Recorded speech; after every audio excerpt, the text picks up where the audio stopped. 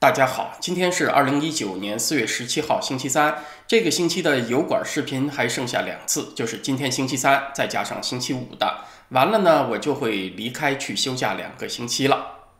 今天要说的话题是台湾企业家红海集团董事长郭台铭，星期三正式宣布参选二零二零年的台湾总统，所以这是今天两岸中文圈的一个大新闻。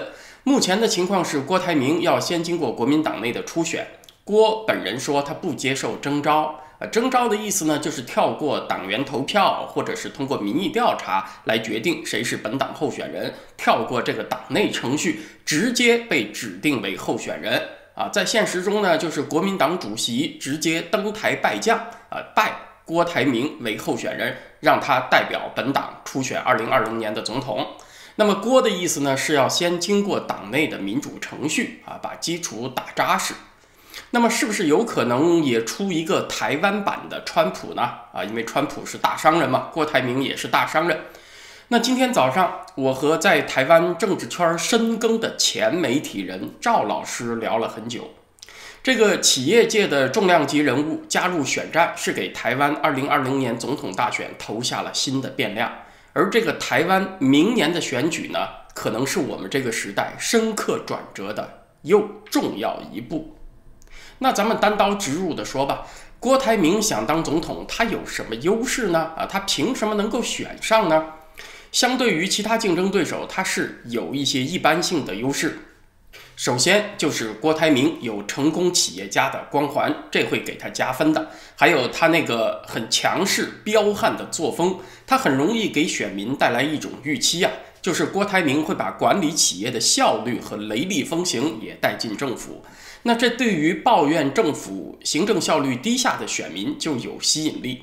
现在台湾五十岁以上的人，他还有蒋经国后期那个台湾政治风气的记忆。那个时代呢，政治高压，但是呢，他没有太多的党派斗争，所以他行政效率比较高，经济增长也比较快。这三十几年来，台湾它的实际国内生产总值增加最快的年份。就是在一九八六年和一九八七年啊，曾经达到过年增长百分之十五的数字啊，在现在看起来是高的不可思议。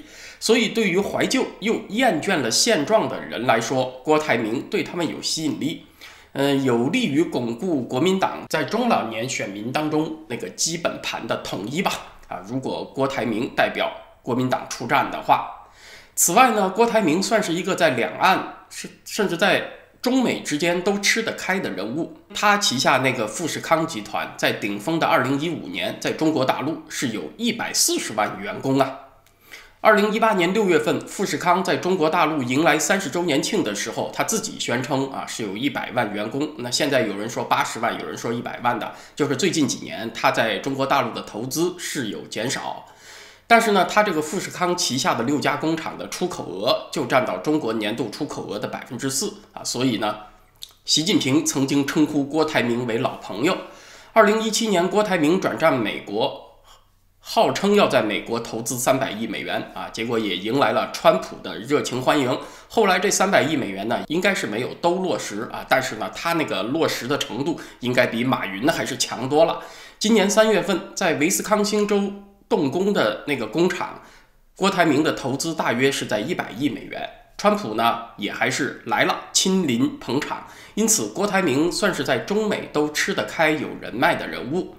那比起其他国民党内的竞选对手，郭台铭也还是有明显优势。比如啊，去年火起来的那个现任高雄市市长韩国瑜。他最近的表态呢是不参选二零二零年的台湾总统。韩国瑜刚当上高雄市长，他一堆承诺都还没有兑现呢啊，就去竞选总统，好像把这个市的领导人啊当成一个跳板，那确实给选民的印象很不好。所以他和郭台铭去竞争的可能性不是很大。至于剩下的那几个国民党内的老油条呢啊，什么朱立伦呐、王金平啊这些人。那和他们比呢？郭台铭在政党圈子里面算是一张白纸啊，一张白纸也是有优势的，就是让选民对他抱有更好的预期。至于说民进党那边的竞争对手蔡英文，在党内是受到了前行政院长赖清德的挑战，但是呢，赖清德的处境比较尴尬。如果他想说服民进党内的同仁啊，自己比蔡英文更适合代表本党初选总统，那他就要批评蔡英文的施政过失吗？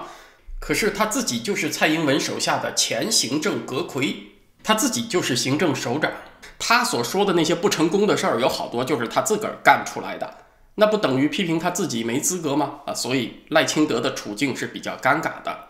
那蔡英文，呃，在今年年初，习近平发表那个。对台湾一国两制的讲话之后啊，蔡英文的立场比较坚定，不妥协，他也是赢得了不少的点赞，他的支持率也触底回升，所以蔡英文在竞选连任上呢，他还是有后劲儿的。假如说最后的情况是国民党的郭台铭对民进党的蔡英文啊，那会是比较有意思的景象，因为看起来很像那个四年前川普对阵希拉里的情况。一个商人大亨老男人对阵一位经验老道的女政客，那是不是台湾也会同样上演大亨老男人逆袭胜出的戏码呢？那前面说了郭台铭的优势，现在得说说他的劣势。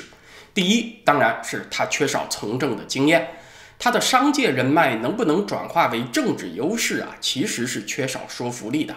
因为他现在是一个身家百亿美元的大财阀，他去哪里投资都意味着上万的工作机会，所以在中美都以国宾之礼待之啊，都是对他很礼遇。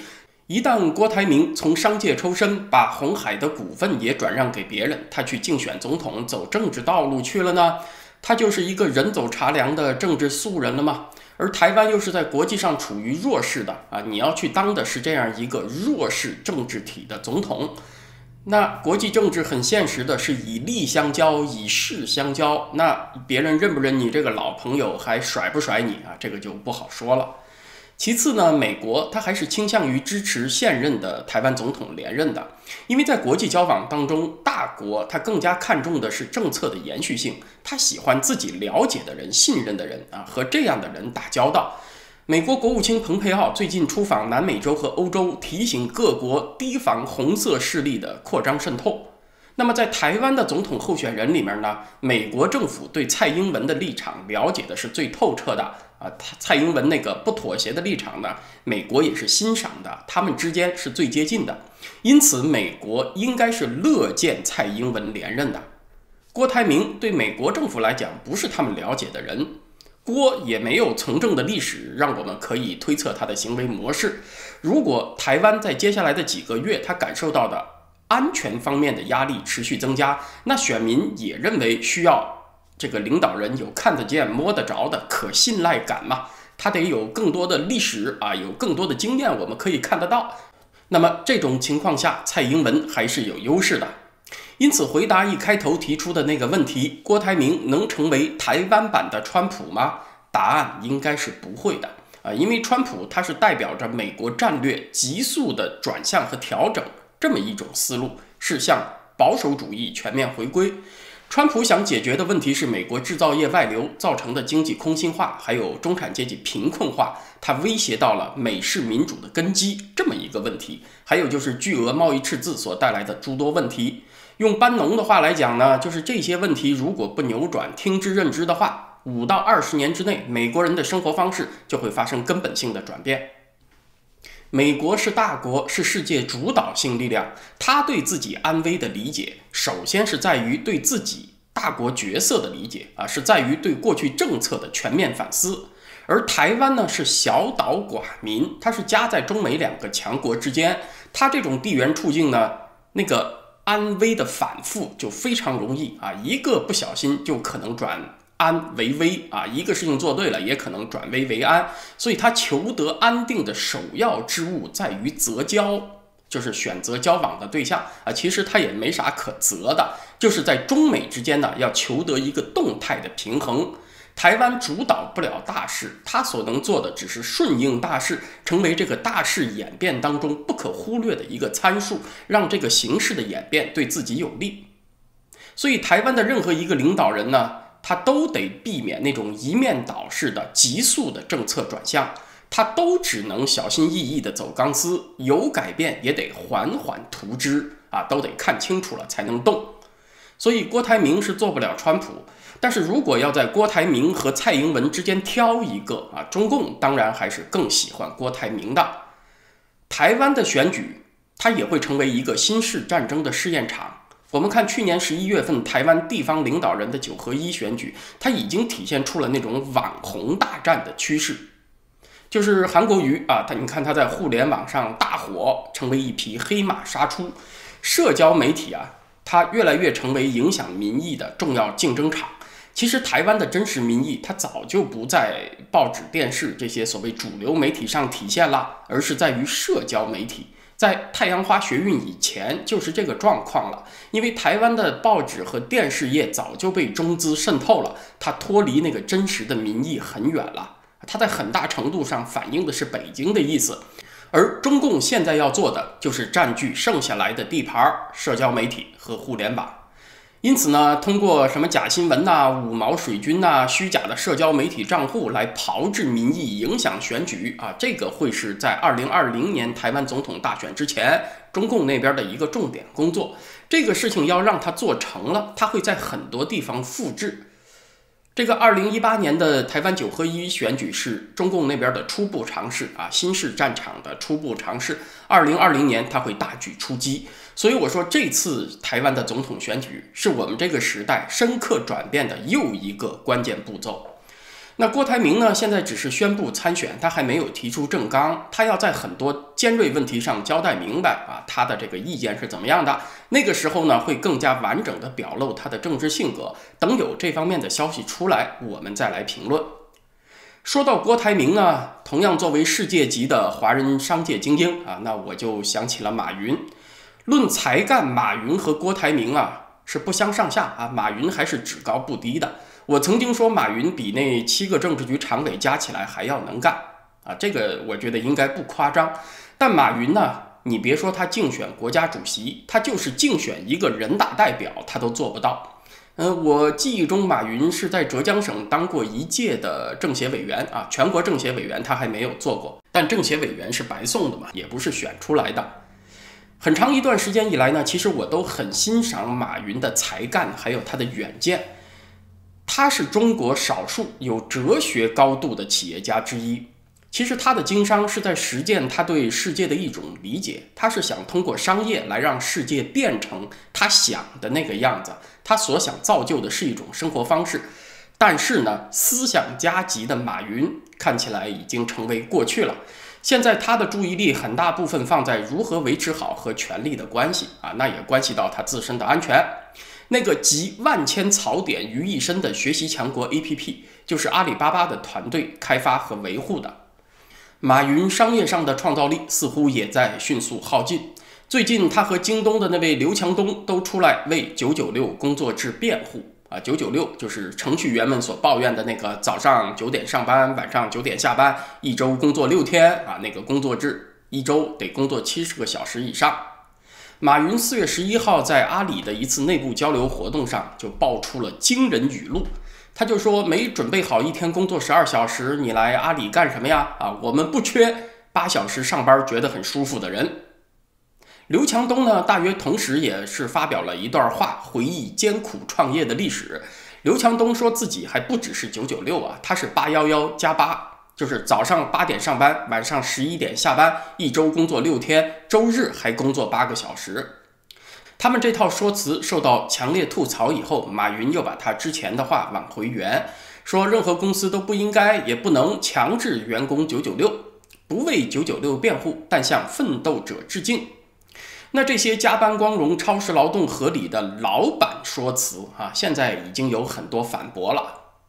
因为企业主和员工，你们对企业的承诺不一样，舍生忘死的回报也不一样。当然，在工作的投入程度上，也不能够按照一个标准来要求嘛。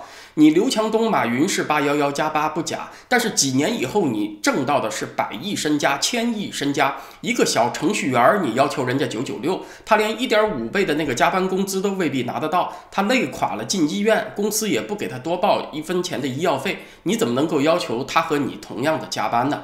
这些都是常识常理，不用再重复了。今天想强调的是，这些科技巨头为九九六辩护，它说明个啥问题呢？它说明中国社会的创造力在枯竭。这些高大上的科技公司，你看最后还是殊途同归吗？还是走上了血汗工厂的老路？